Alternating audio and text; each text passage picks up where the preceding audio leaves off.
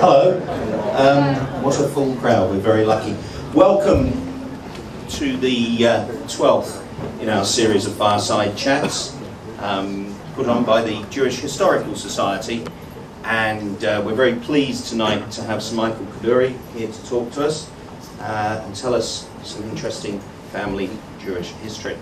Uh, many of our previous fireside chat guests are here this evening, and we welcome you especially for coming along. Um, for those of you who don't know anything about the Jewish Historical Society, we, uh, under the chairmanship of Judy Green, take care of uh, the cemetery to some extent. Um, there are, we publish monographs outside. You'll find a social history of the Jews in Hong Kong and S.J. Chan's uh, monograph on the Jews of Kaifeng. And there are some beautiful cards which the Trust have kindly helped us produce uh, with pictures of the synagogue for you to use for any occasion. So we encourage you to uh, look at the books and monographs outside. Um, Jewish history is something that we feel quite strongly about, passionate, my American friends would say, and no, nothing more so than oral history. So this, the 12th in our series of Fireside Chats is intended to preserve and enable everybody to see oral history of the Jewish people in Hong Kong over the last decades. So that's why we hold these events. Um, can I ask you please to look in your pockets and handbags, take out your mobile phones, unlock them, and turn them off. I don't think you need. I don't think you need me to say anything more. Um, ladies and gentlemen, please welcome Sir Michael Kadoorie.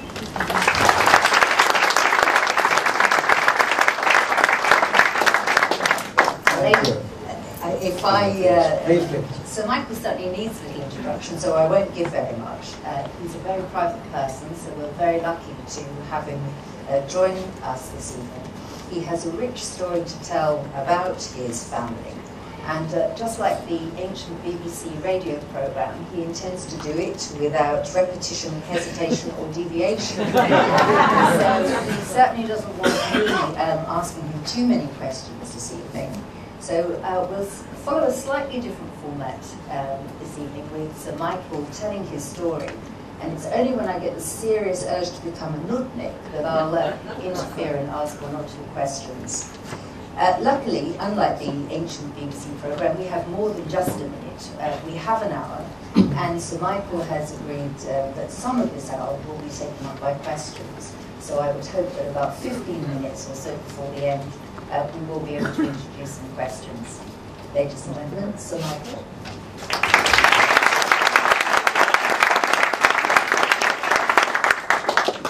Sharon, first I must uh, thank you for the very warm introduction. I would also uh, mention that my wife Betty is in the front, and when she does this, it means fast forward, which she does reasonably often. it's a privilege to be here this evening, and it's somewhat humbling because if I look around, I can see that many of you have far more to say than I do. I shall try and bring you just one or two recollections, uh, many of them stories from my own parents' time and the uh, period which goes back to the beginnings of Hong Kong. Well, perhaps to start with, I should mention that my family are from Baghdad and two brothers arrived in Hong Kong in 1880 via India. Four of them left Baghdad, two remained in India, and two came on here. The two who remained in India worked for the Sassoon family, which my family related on both sides.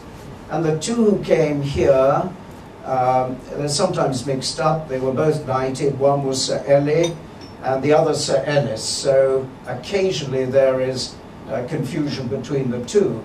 But Sir Eli was my grandfather, and he went on to Shanghai very soon after his arrival here, while Sir Ellis remained here. Both of them were, of course, Ellie and Ellis, Ellie being, I believe, 15 years of age. They're very young to take this journey, but one must remember that the map of the world was pink in those days. The Yeah. British Empire ran from Palestine, well, wasn't Palestine, Mesopotamia, through India, and then on to China. So you travel without a passport with something called a laissez-passer, which lets you move around wherever you wanted to go. On his arrival in uh, Shanghai, he was sent up to Weihai Wei, which was in, uh, a, a little settlement, in fact, on the river, some three days' journey at that time from Shanghai, where he was put in the employ of Sassoon's warehouse people, he being number three. Well, number one was on holiday, and number two was away at work, and here was young Ellie left in charge.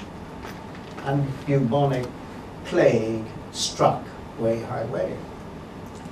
Well, there were deaths, there was a real problem in terms of maintaining health, and he opened the doors of the warehouse and gave out Jay's fluid, which is a good disinfectant. And those who couldn't pay, he said, look, we'll deal with this later.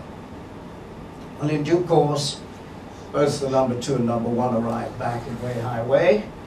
And to his surprise, they took somewhat of a dim view of his having passed the Jay's fluid out without taking any payment. He was duly summoned to Shanghai, where his cousin, one of the Sassoons, was. And he said, Now, now, young man, you go back up to Weihai Wei and we'll hear no more about this. My grandfather said, If that's the value you place on life, I resign now. He was also told not to be hot headed, but he resigned and off he went to Hong Kong and he went to see his brother who gave him some 500 Hong Kong dollars. And the 500 Hong Kong dollars, which was a substantial sum of money at that time, was what he really started life with. His brother incidentally said, Don't come back to me for more. he was an enterprising person and he formed a partnership with two others and they were successful in brokerage. And in due course, his success gave him the feeling that he might retire. He went to England, he married uh, into the Mocatta family, of which uh, Willie, I believe, has already given a, a talk here. But the Mocattas were Sephardic Jews who left at the time of the Inquisition in the 1500s from Spain and proceeded to Portugal, Holland, and England, where they became bullion brokers to the Bank of England some 250 years before the Bank of England was the Bank of England. So they were reasonably well established there. Um, coincidentally, we have only just discovered uh, in the last year some letters written by my grandmother in 1905 when she traveled, and I've actually put them in a little book and given, published them simply for the family. But it gives some indication of the times. Uh, very British times, might I say, very colonial because the colonies, as we all know, were trying to outdo Britain itself. So you were more British here than you were, in fact, when you were in England. To the extent that you would be invited to um, somebody's home only after they had reviewed you rather carefully. It might be a month before you got an invitation or you didn't get one at all. And that would come with one of the servants coming forward with a silver plate and a card saying, Mrs. So-and-so would be delighted if you'd come and have tea. That's how it worked. And of course, if you were on the peak, um, you might remain a few weeks, you might remain a few months. But in her case, she was an educated woman and she did get some invitations. I can see Betty's about to ask for fast forward, so I'll try and move this a little bit more quickly. My grandfather did well. There were two children, Horace and Lawrence, Lawrence being my uh, father, Horace uh, very close to him, uh, his brother. And I believe at the age of 28, he retired. He went to England, he bought a home, he put his two sons in Eastbourne, at Ascombe St Vincent's, which was a prep school, and he was looking to have a home in the country as well. Now, it wasn't quite pigeon post, but there was something called a cable in those days. Cable and wireless, I'm sure you're all very aware of it. And cables came in saying, do you realize your partners are not carrying out their work in the manner that you expect them to? In fact, one of them is an alcoholic, and the other one is not working particularly hard. But who wants to hear bad news? Nobody does, particularly Judy here. and uh, of course, he disregarded this. He wasn't at all interested in not pursuing the lifestyle that he had in mind. However, the cables came in, and in due course, he had to return to Hong Kong, where he found his wealth had diminished and he was left a little bit like this global collapse now with 10% of what his fortune had been. Result, no house in the country. Um, I think the house in London remained, and he had to start all over again. He had to bring his wife back. His sons remained in boarding school. He did know brokerage, he understood it, and eventually put a partnership back together again. And his forte and speciality was rubber. Well, rubber was yet another commodity, a commodity which was important at the time because motor cars were coming into their own. It was something where profits were made. However, like with what's happened just recently, in the global markets, the rubber price crashed. And as we all know, I'm sure we've got bankers here amongst us, the umbrella is only out when there's some sun. As soon as there's a little rain, the overdraft is called. And he was with a chartered bank, and of course his overdraft was called because it was secured on his rubber shares looking very miserable. He was sitting in Statue Square with his head down when somebody patted him on the back and said, Now, young Kadoorie, why are you looking so miserable? And without even looking up, he said, Well, you know, if all your interests were in rubber and rubber has crashed and your banker has asked for your overdraft to be withdrawn, you'd also look miserable. Well, the person who patted him on the back was Sir Thomas, and I've forgotten his second name, but it'll come back, who was the chief executive of the Hong Kong Shanghai Bank. And he said, haven't you heard there's another bank? his statue, incidentally, is, is, is Jackson. Now, Jackson, exactly. Sir Thomas Jackson to which within two days he had another overdraft, he had paid off the chartered bank, and uh, he was on his way to at least having the umbrella put back over his head. So Thomas said to him, you know, we've got 3,000 people in the same boat, and we are not people who want to be in the rubber industry. is there anything you can do for them? To which his reply was, I am just a small person within this framework. With your backing, there are things that can be done. Now you can imagine a Sephardic Jew who didn't speak English clearly. His first language, incidentally, after Arabic, was French, because Palestine, as it became, it was at first a French protectorate and then English. So in that atmosphere, first of all, Jackson must have had a certain amount of confidence, and uh, I guess my grandpa must have had a certain amount of chutzpah. Whatever, he was backed. They closed 300 rubber companies, which incidentally paid directors. Uh, they had directors' free lunches. Cables came every day. And so this didn't go down particularly well in the community.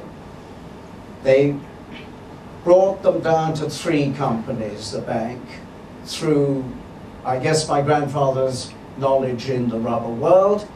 One was amalgamated, the other was rubber trust, I can't remember what the third one was. And they lived through the 18 months of lean period, and of course, in due course, the rubber ball, which had bounced, bounced higher. He made his fortune, and uh, fortunately for him, he diversified. so here we are now uh, with a, a, a person who's beginning, and remember, Hong Kong was very tiny at that time. So all the companies that you hear of today were little seeds. The Wharf Company, the dockyards, Kowloon dock, Dockyard, certificate number one if you look at the registry. China Light didn't exist. Um, they, were, they were all tiny seeds and didn't require huge amounts of funds. My grandfather went back to Shanghai, established himself there.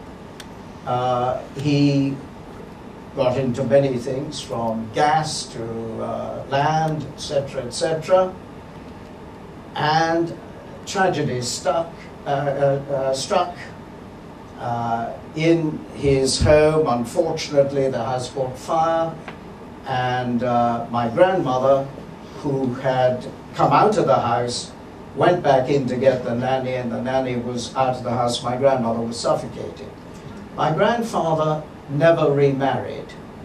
He had, of course, his faithful lieutenant in the form of my father, and uh, he was with him virtually as an ADC all his life. My father said in some ways that he had lost his youth simply because his obligation and responsibilities were to his father. Horace was a bachelor, and eventually they established in uh, uh, Hong Kong an office which grew more in terms of the work which my grandfather had established later, i.e., it was not rubber, but it was in various diversifications. Meanwhile, my great uncle had died, and his interest went across to his brother. Those included Hong Kong Shanghai Hotels, the oldest hotel company in Asia, 1865, and of course the germinations of China Light, which was uh, the Canton Fire and Light Company, which in 1898 sold electricity from Xiamen to the warlords in Canton. Unfortunately, they didn't get paid, so they wound it up, came to Hong Kong, and in 1902, China Light started. Those were the beginnings. Well, you haven't prodded me yet, but uh, I guess I better look at the time. If we move through those years, Shanghai was considered, and many of you here are with a background of Shanghai, So particularly you, Vivian, you know it all, so I won't tell you about those days. But if I could summarize, it was where huge wealth was made and huge opportunities were available, but the poor were very poor. They came into the city in the morning, in the winter, the dead were taken off the road. Everyone saw Shanghai as a city of opportunity. It was variously described as the Paris of the East. Uh, it was the third largest city in the world at the time. It had the second largest airline in the time, CNAC, which was, of course, American backed. It was a city with international settlements built first from the British and the French, which uh, the American, which became the, the international. There was a French settlement. It was truly an entrepreneur place with opportunities. Jewish people do well with opportunities, and you'll, of course, be very aware of the Sassoons, the Hardoons, my own family, and many, many others. Yours, Michael, who was there. Um, it was a place where huge fortunes were made and lost. War clouds were gathering. Europe, with Germany on the rise, brought refugees in huge numbers, specifically Jews, who came via Russia, and of course Shigemitsu, who was very well known in giving stamps to Japanese uh, to bring people through, Jewish people, into Shanghai. Horace, my uncle, was effectively the person who looked after the charitable interests of the family. Um, my father and uncle only had one account. They made the money together, and Horace really looked after this issue. He built two schools, one for the refugees, which the Japanese eventually took down, and not to be uh, uh, defeated in this, he built a second school, and uh, to my horror, as I'm an old car buff, he took the long wheelbase Rolls Royce, removed the body, and put a bus body on it for the children the school. However, that's another story. I won't, I won't uh, digress. We never found the car. Um, the Japanese, who my grandfather used to spend his time in Europe, in Malaya, where he still had some interests in rubber, and he would also take the route back through Japan and across Canada to uh, England. And in this, he was a person who spent time in Japan, in Chuzenji, in some of the areas there. He also was involved in charities in Japan. I mention this simply in the way he was treated during the war. War came, he happened to be in Hong Kong at the time. I did forget to mention also that he lived pretty much his principal residence was Marble Hall, which was the house which was built after the house which had burnt down. It was built on the property of the Jewish Club, which was in financial difficulties, and he was away at the time when it was being built. The architect by the name of Grand had very grand ideas. Uh, when he arrived back, the architect was in hospital with DTs, uh, an alcoholic. This place was 220 foot long. Uh, it had 12 bedrooms upstairs, a ballroom which would take 3,000 people, and it took me some time to pedal my car from one end of the balcony to the other. Three people rattled around there uh, when they were together, because my father was usually here at the time. And last of all, the dining room table took 42 people when shortened and 72 when extended. It's now a school. My grandfather was here in 1941 with now my parents, my sister Rita, and myself I was six months old at the time, and the same day as war broke up in Hawaii, the 6th, I believe, uh, it was the 6th, if I remember rightly, of September. Uh, at the same time here, I may have got that date wrong, at the same time here, the Japanese uh, bombed, December it was, sorry, I'm getting corrections over on the left. Um, the Japanese bombed Wake Island, they bombed Hong Kong, they bombed Sumatra, the oil areas. This was a collective effort. And on the 25th of December, Hong Kong fell after a rather severe uh, um, warfare which was doomed to failure. The Canadians, with their guns, uh, arrived here, they only had their rifles. All their heavy armaments were shipped to Singapore by mistake. Churchill said, defend Hong Kong with a view in his mind that Singapore would survive. People were literally annihilated. And when Hong Kong surrendered, we were put into Stanley Camp and with my grandfather. And there we were for some six months before the Japanese officer in charge came and saw my father and said, uh, you are a Canadian, to which my father said he wasn't. You are a journalist, to which he added he, he wasn't a journalist either. All Canadian journalists will now go to Shanghai, of which about, I think, 20 people were rounded out. On a ship which was capable of normally carrying 600, there were 3,000 on board. We had a little cabin, of which uh, my father gave up uh, his uh, area in the cabin to some ladies, and uh, he was in the hold with everybody else. The journey took 10 days, the ship zigzagging to avoid American submarines, with the Japanese keeping the, uh, the battens down on the top of the, the area, so you could only come up at night to, to get air. We were then transferred to Chapei Camp, but my grandfather, and I believe, and we go back now to his period in Japan, for some reason they singled him out in, in, in a way that they thought was good.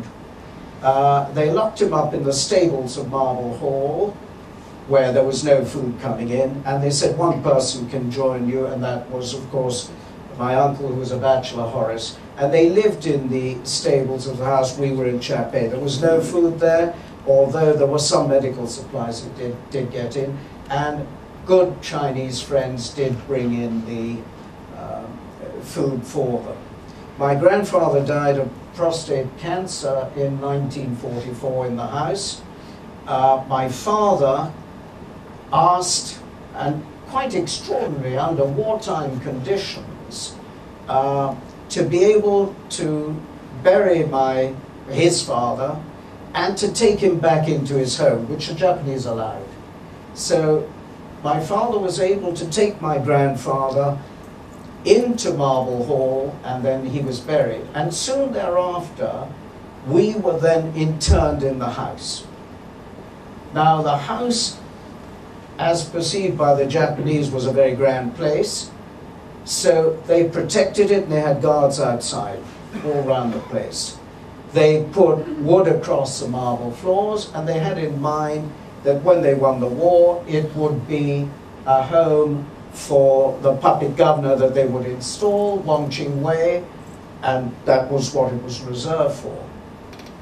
Well, whilst my father was in the house, the Japanese, incidentally, were very regimented. They were very much like the Germans. And before the war, everything in the house had to be surrendered. And you might remember some of this of Shanghai. And the Japanese gave little tickets uh, just as receipts. All radios, cars, anything that you might have, the place was gutted. However, there was one shortwave radio in a piece of furniture. My father knew where it was, and he would go down late at night and he would operate this radio very quietly which he would have been in very serious trouble if anybody had known this. And of course, he heard of the dropping of the bomb. It wasn't noted as a nuclear bomb, it was noted as a bomb that would change history. Six months later, uh, well, not even six months later, two or three months later, that was it, finished. The war was over, and of course his house was well preserved, so it became Allied headquarters. The surrendering uh, of the Japanese forces left a vacuum. Um, this was filled by the liberating forces. Commander Shoemaker, US Navy, came to liberate the camps. Uh, Ogden, the British consul, was there. Everybody was in the house. And my mother, who was somewhat shy, was encouraged by my father to play the piano. You can imagine the euphoria. Uh, there were GIs who had crossed the Pacific, and the most extraordinary thing has just happened to me.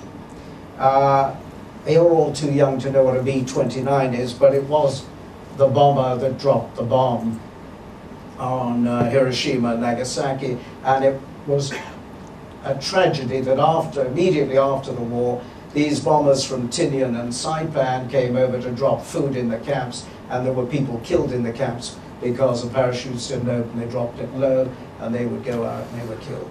But the um, uh, history uh, in that time of, of the liberating people was it was a mishmash of everyone.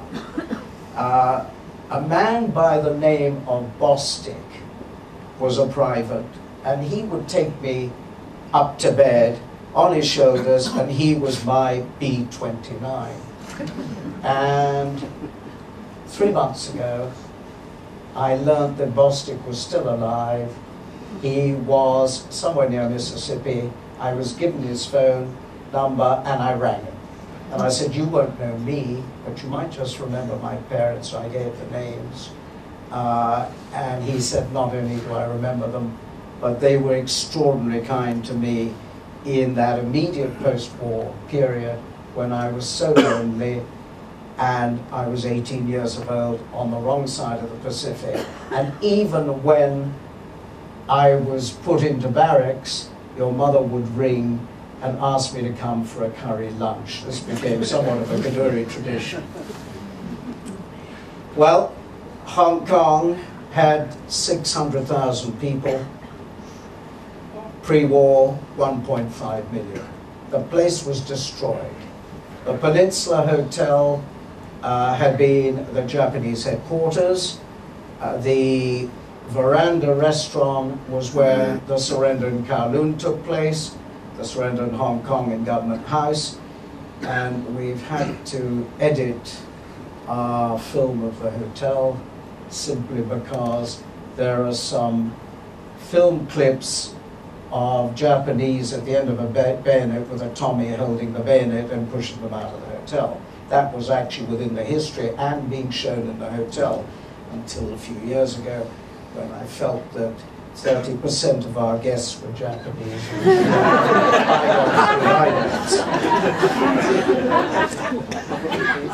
one of the uh, one of the ironies of these periods are the kind of people who appear.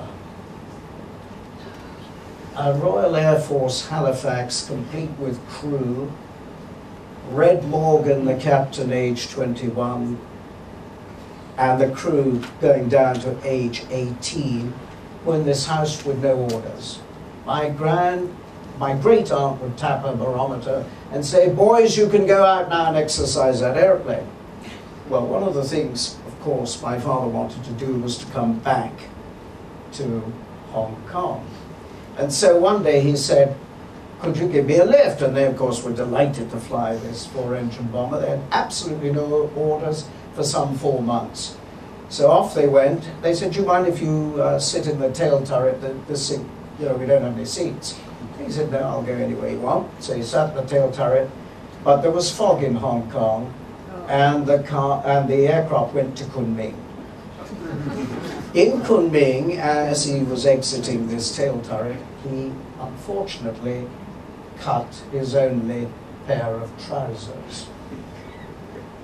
Left on the runway, a jeep appeared with two GIs, and my father wasn't looking too happy. And they inquired why he was looking so unhappy, and he said, if you only had one pair of trousers and they're destroyed, you would also look unhappy. A little bit of shades of my grandfather here. Within three or four minutes, he was a GI from Tom to They dressed him up. He said, now how do I get to Hong Kong? And they said, we can't help you, but if you want, we'll take you over to the other side of the airfield, and the Royal Air Force are over there. They may be able to help. To which he appealed. And the Royal Air Force said, we're very sorry. There is uh, no passengers going up there. Um, we don't have any passenger seats. We don't have a plane for that. So my father said, do you have any cargo planes? Can I go as cargo? I said, yeah. You want to go as cargo? Fine. So he arrived in Hong Kong, the first civilian back, sitting on a pile of banknotes.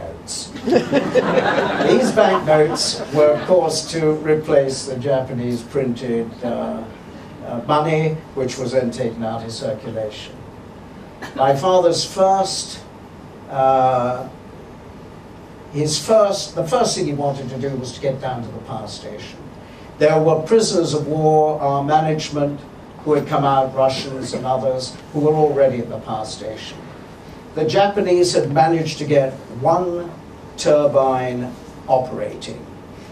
And that was for Hong Kong and Kowloon, and they had strung a cable across, and one boiler was operating. They had broken the whole of the front of the boiler and were shoveling wood, which was being collected off the hillside and put into this boiler. By the time my father got there, the boiler wasn't working. However, there were people like Eugene Joff, who had been a manager. They were all there working to try and get electricity to, in, to get, get supply back on.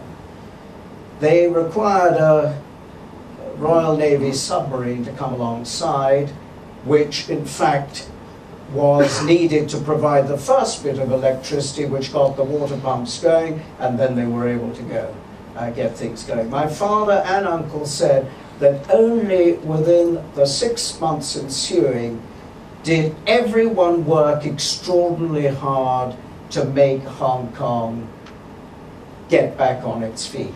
He said after that people took their own interests at, at hand.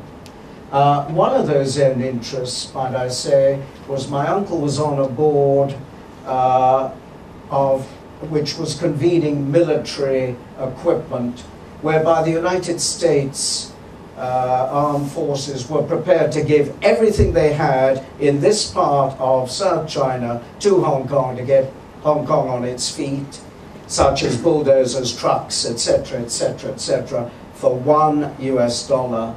But there were others on this board who had interest in selling Ford trucks and Dodge Jeeps and so on and so forth, and it didn't go through. That would have got Hong Kong on its feet immediately, um, but it didn't happen. And there wasn't the possibility of immediately getting trucks or bulldozers here, so it delayed everything for a year and a half. Okay, I can see fast forward is on, so I'll keep moving. At this stage, I mean, could you tell people what post-war Hong Kong was like for you? Where, where were you living at that time with your family? I, I'll tell you all about that in a minute. I was still in Shanghai. I didn't come back until 1946 on a DC-3 Dakota, of which all the seats looked inwards because it was for parachute purposes.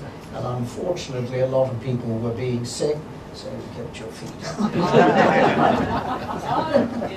when it landed, might I say, it had a tailwheel, so. But let's go back to Hong Kong in those days, and that's what I think is what you're looking for. It required extraordinary courage to think in terms of a future for a place as desolate as Hong Kong was at that time. My family came back here in 1948. We were initially in the Peninsula Hotel. The house which we had been in was bombed. My father was thinking of building a new house on the peak, but all the family interests were in Kowloon. The electricity, the hotel company, a house which he had built for his father, Boulder Lodge, which had been destroyed, had to be rebuilt. So we went to live in Kadoorie Avenue, which was a family estate, which had been maintained by the Japanese because they had billeted people near it, and so it was in reasonably good condition. Electricity came back to Hong Kong, and soon thereafter, 1948, we have, of course, communism in China, and virtually anybody who had anything there, they lost it all. I can speak here because I know many of you came out with very little. My family came out with one carpet and six brandy glasses, and that was it. Everything else was lost. However, there was a lot of friendships there, and one of the friendships was with Y.C. Wong, who is still very much alive and became a director of the Light Power Company later. Y.C. was the chairman of the Cotton Spinners Association, and before 48, they realized that they were going to lose everything, and they were looking at Brazil, and they were looking at Mauritius and other places, and he contacted my father and said, will you give us electricity if we come to Hong Kong? To which my father said, definitely. It was a hollow promise. There was no turbines, there were no boilers. However, with Metropolitan Vickers and a long association of some 60 years, he was able to persuade them to divert one turbine of the two going to South Africa to come to Hong Kong. And they did get their electricity when they came here. And that, incidentally, was a turning point for Hong Kong because it brought manufacturing here, which brought people jobs, and they were able, in fact, to make a living here, and Hong Kong prospered. We found two and a half million people here by the 50s. Huge numbers of refugees came into Hong Kong, and here's where my little memory comes in. I remember the squatter fires, and I also remember the hillsides, which were barren with no trees. I remember no vehicles. I remember walking down outside the Peninsula Hotel and seeing trees all the way down Nathan Road. I also remember well, and I know many of you here do, Statue Square where you could park your car easily. Mm. There were short buildings. They were not tall. They were three stories, four stories. They were imposing colonial edifices. People were dynamic. We were blessed by the fact that we were here. Chinese people have a very similar background of 5,000 years of history, and they are very focused on family, and they are very work focused. This is something which, of course, Jewish people share. So in many, many ways, this comfort factor was here. There was no anti-Semitism, per se. There was, might I say, earlier, uh, in the pre-war days. There might have been a little bit when Hong Kong got back on its feet, but not in any, uh, in any degree on the levels that were experienced in other places. People got on, if they wanted to work, they could. Well, these fires meant the government had to act. And in those days, thank goodness, the government did act. Um, I can't say they do very much acting now, but they certainly did then. And of course, refugee high rises were built near the airport, and eventually Hong Kong prospered. A new airport was built, tourism was taken up in high levels, with many coming from America by sea. They spent a week or two weeks here. They came with huge trunks. In fact, if you looked at the footprint of a penins typical peninsula room at that point, there was a huge box room for these trunks. And there was usually a little room nearby in case you brought your staff with you. That was the immediate post-war uh, era. Well, we'll fast forward again, because I know you want to ask a few questions, or others may. Uh, we move to the um, period of the Korean War, which also had a huge impact on Hong Kong. We move forward now uh, to uh, Hong Kong, which is looking to the future, 15, 16 years out to the transfer of sovereignty. It's interesting to note that Maggie Thatcher, in her chat with Deng Xiaoping, really believed Hong Kong could remain a British sovereign colony. And she was prepared at the time to, in fact, uh, look in terms of long leases, uh, using Hong Kong and the new territories as reopeners. Well, that didn't come to pass, but even then there was talk of it.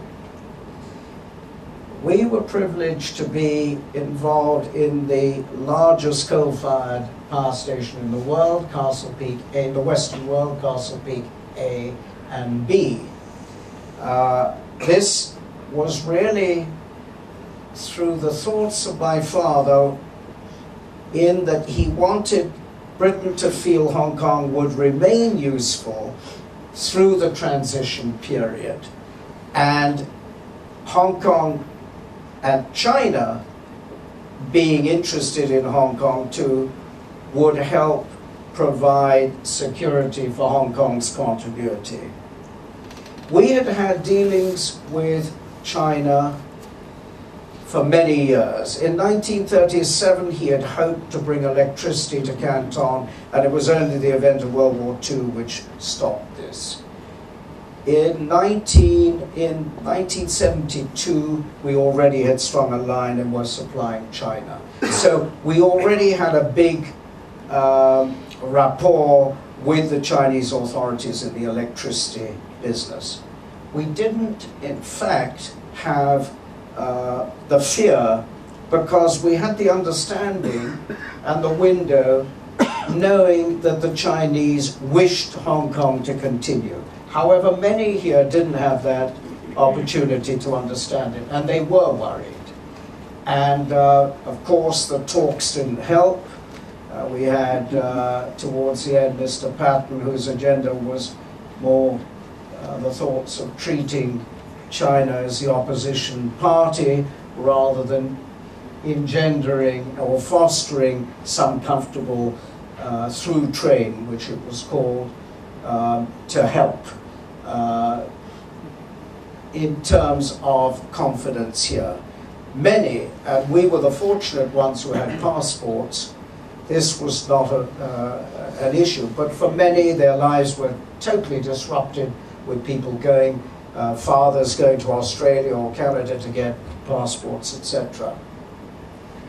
Uh, we had some eye openers at the time, some rather peculiar ones. I think many of you who lived in Hong Kong at that time will remember that one of China's fears were that Britain would raid the coffers and take all the money back to England in 1997. So a system, and, and Hong Kong made its money selling land, a system of uh, 50 hectares of land was made available every year and no more, so that they, they couldn't sell more and pocket more money in the coffers here. Actually, Britain was very honourable and they did not, in fact, send any money back, and China has honoured her obligations here admirably. But there came a point where we were building the power station uh, at Black Point, which was a very large gas-fired power station. The land needed to be part and parcel of all the negotiations, and Britain and China went loggerheads over Hong Kong. Nobody was talking. And somebody came to see my father. All this would have fallen through in December, at the end of uh, uh, the year, and everything would have had to have been negotiated in terms of money, in terms of credit, in terms of being able to obtain the equipment, and we didn't have the land. And someone came to my father and said, look, if you want, we can send a message up to China and we can try and sort this out. Now, this was rather an undiplomatic thing to do, but we did this. To which we got a message back three days later saying, we will take the land out of the allotment for next year and you'll have the land, go ahead with it. And, and they signed on trust. Of course, both the British um, here, the, the government were not very happy with the fact that we were able to communicate and they weren't. But these were the things that went on at that period, at that time. What are my recollections? Well, my recollections was living in a very dynamic city. Uh, I lived on Kadoorie Avenue. I uh, remember going to school here at Kowloon Junior School. Uh, I remember the typhoons. I remember the fact that the roads got uh, um, were filled with water and the drains never drained. I remember the uh, funeral services, which would take up the whole of the main street with, if you were prosperous, two or three bands, uh, and uh, Chinese opera down the center of the street. Uh, I'm sure you'll all remember this as well. Uh, I remember difficulties. Uh, reversals. I remember going off to boarding school, as Philip has done now in Switzerland. Um, and, but I remember a very closely knit and united family, and a simple family. Family life for me was one which was really of very, the elements, the values, and parents who were very loving and really cared for their children more than socializing and other things. They did socialize, of course, they had parties, but it was a tight-knit family unit. Um, I'm delighted to have seen Hong Kong prosper.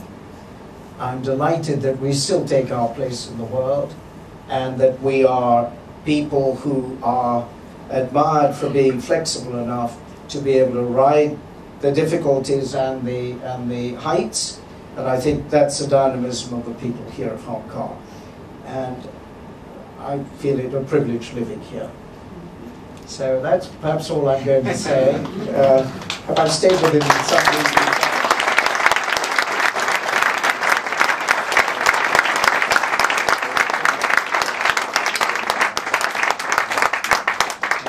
You've done tremendously well, and you brought us through over a, a hundred years. You, you, you said that your father felt that he'd lost his youth to his father. Did you ever feel any element that you'd lost your youth to the Kadoorie legacy, that there were no options for you but to enter the, the, the Kadoorie business? Never, no. My, there was 42 years between my father and me, so he could have been a grandfather to me. Um, no. Uh, in fact, in the beginning, I think my father had absolutely no faith in me whatever. Uh, when asked, what is he doing? I don't know. Why didn't you go and see? him? So he's only would ask, uh, or confidence. But um, I suspect being somewhat of a fixture in the office, eventually I became a little more than a desk and a chair. And he realized there was a little more going on than, than he thought. No, I didn't feel so. The privileges come with the obligations, and I've had extraordinary privileges. Uh, my father never had those privileges. He lived through a, a scene where not only did he support his father, but then the war years came, he was incarcerated for some uh, four and a half years with a, a young wife, with my mother, and uh, so he lost all of that. But in many ways, he was very fortunate. I think, if asked, he would say probably uh, the time that he was most productive was after he was 65 or 70. I'm just growing into the productive stage. Your whole family has been very, very focused on uh, philanthropic works also. Um, there's the Kadoorie Farm here in Hong Kong that's advanced agricultural development in Hong Kong. There are two very important agricultural schools in Israel. Um, one of the most uh, uh, um, famous graduates from one of the agricultural schools in Israel is Yitzhak Rabin. Uh, shaped the whole of Israel. Has it, was that very much a part of the focus on your family, that it was important to do things for society in general, um, that it was important to, to share and encourage um, wealth and development amongst those who, who weren't, who didn't have it quite so readily available? Sharon, I think uh, it is in each and every one that. That obligation is for all of us. To what extent is relative? Uh, I know many, many people here who have shared in that and given of themselves, of their time, of their money, and so on. I don't think it was any different for my family.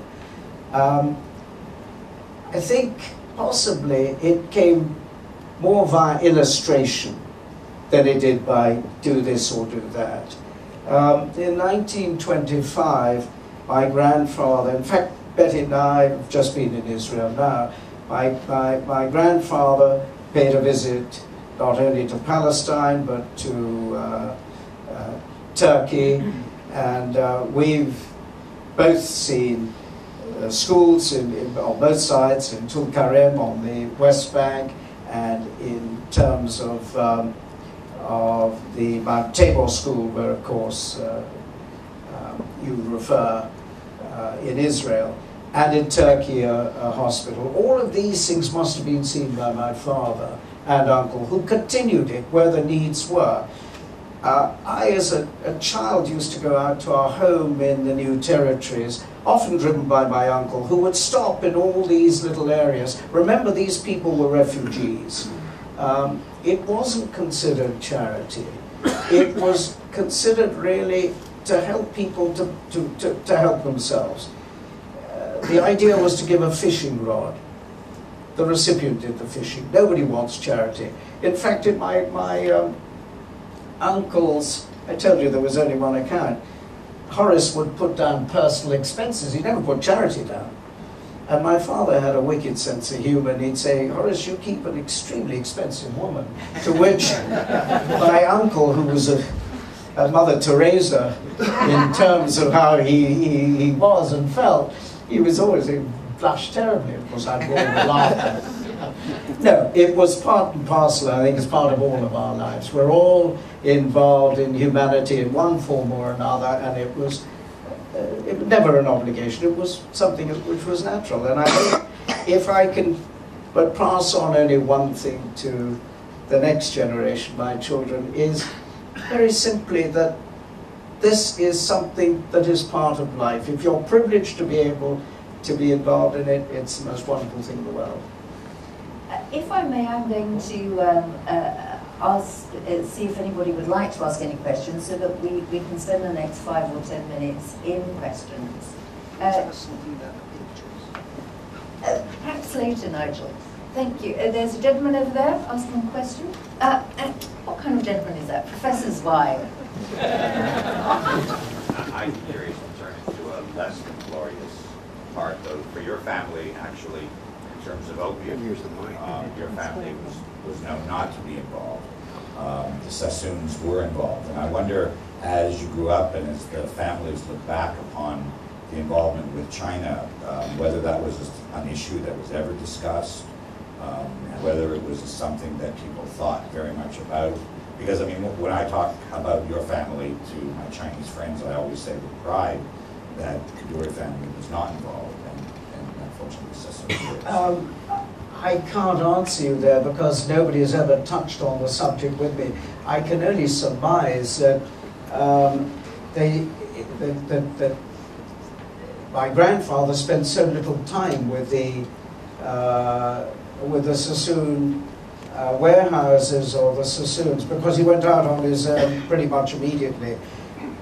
Ellie, uh, Sir Ellis was involved in the hotel company in racing, he had uh, he did well, and he had a, a stable called the Chieftain Stable, and he had other interests, but it was never in trading interests. So I really can't tell you much about that. I'm delighted, of course, that they didn't have any involvement. yes.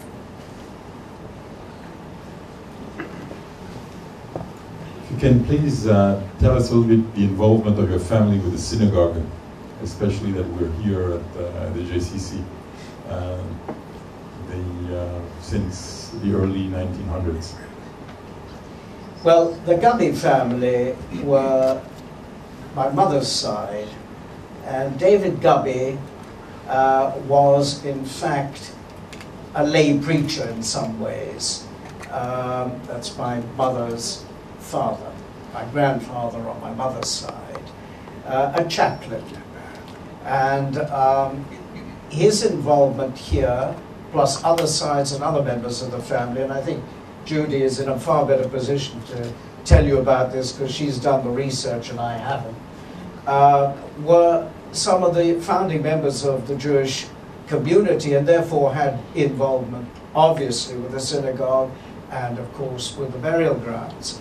Uh, Sally Gubbay, my mother, my grandmother, is in fact inscribed on the wall of the synagogue in Marvel. But I think there was a genuine need to provide for the religious here and the family were in a position to assist and help, and so they did get involved. Similarly, might I say, in Shanghai. And might I also add, members of the family in Calcutta were involved. There's a David Gubbay there who was involved. There are Sassoons there involved in the three synagogues there in Calcutta. I can't tell you regarding Bombay, but you'll see that type of influence from prominent families in virtually all the synagogues. Is that right? Same families. Yeah, same families. Yes. We've heard a lot about I've heard a lot about the men in the Kadoorie family, but I've always been intrigued about the fact that there were a few powerhouse women in the Sassoon Kadoorie clan, specifically those who were capable of interviewing rabbis and with their erudition challenging or giving these rabbis a run for their mitzvot or Talmud in terms of the erudition that they, that the, the, the mothers or grandmother or your great grandmother had vis-a-vis the candidates who were seeking to be in the employ of the Kadoories and the Sassoons, specifically to be part of the family that was were teachers and uh, and the, the rabbinic element in, in the lighthouse. They made the trip from Baghdad to India to to Asia. So can you perhaps recall any stories you heard about your great grandmother? I can't. Great grandmother? My God, no. I can tell you, though, that women in those days uh, were, certainly if they'd come from Europe, were well educated. My grandfather, incidentally, provided the first school for women in the Middle East uh, in the name of uh, his, his wife who had passed on. And that's still there in 1922. Laura Kadoorie uh, School in, in, in, in uh, Israel. But Flora Sassoon was very well known in Bombay. She was a pillar of society there. And she may well have had some influence on rabbis. I'm, I'm quite sure she might have. Um, as to whether my grandmother had any influence, I can't tell you. Great grandmother is way beyond me. I'm afraid you'll have to ask up there, and someone might give us some answers. Any other questions, ladies and gentlemen? Yes. Sorry. I'm interested in your uh, family's connection with India. How long did it last, and are there any still there? And there none there, no. Um, the family interest in India was primarily through the Sassoons and the two brothers who remained. As to what happened to them, I'm afraid I can't tell you. But they did work for the Sassoons there. As to the extended family, or the Sassoons, of which we're related on both sides, as they in fact uh, prospered, they duly immigrated to Europe, to England particularly, and you've got uh, you've got Philip, Sir Philip Sassoon, who was one of the founders of the Royal Air Force, giving them some aeroplanes. You've got the poet Siegfried Sassoon. You have the Cholmondeleys, they married into aristocracy simply in that they had money and the aristocracy didn't. So it's a similar manner to the Americans marrying into the, into the British family. So you still have um, you know, Sassoons intermarried. The last Sassoon in this part of the world was Sir Victor, and he was a bachelor. He eventually married his his nurse, I think in his late 80s, but he washed his hands off China uh, immediately after the war and established himself in the Bahamas. What was her name, Betty? Ba- Barnsey was the, was the last lady in his life who has a heart foundation, which is now passed on. Um, so really, the number of Sassoons, maybe Vida has something to do with them. I don't know. Um, but the last one in, in, in, India would have left from. Yeah, well, they left in, in 48. In, in, 48. in the partition, yeah. they either went to Singapore, uh, which there's some Sassoons, uh, or they went to the United States or Israel. But they're none there. There are four there. One of them's a complete crook, uh, who um, unfortunately is a trustee to the Jewish uh, school which my grandfather renovated and which was named after him in 1933. It was a school built in 1875.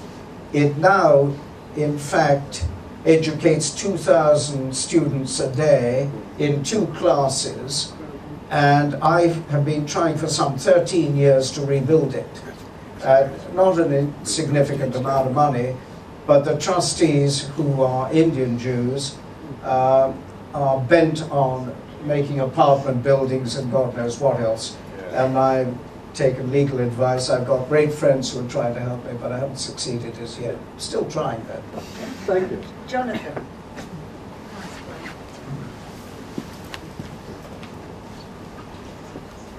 from what you've said, from what you've said as a child, you were living over in Kadoorie Avenue, which I think is in Kowloon, right? Correct. Um, so, how much and what kind of Jewish education did you have, and what kind of Jewish practice did you have growing up?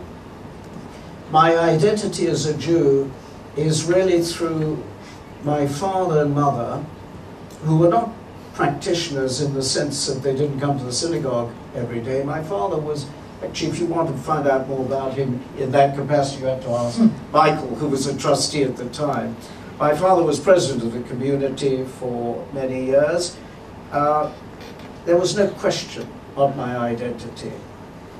We didn't eat pork, we don't in the house today. We didn't eat shellfish. Uh, I came to the synagogue on Kippur and, I, and, and on New Year's Day as well. But we weren't practicing the religion. We were perhaps uh, practicing what is expected of Jews. And hopefully, in that area, um, we've been able to, in some ways, in some small measure, being able to have some. Ladies and gentlemen, I can hear 150 tummies rumbling, so I'm going to bring matters to a close.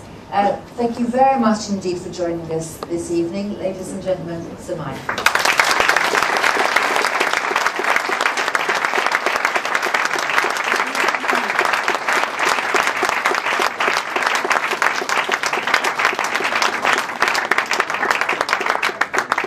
thank you all for your patience.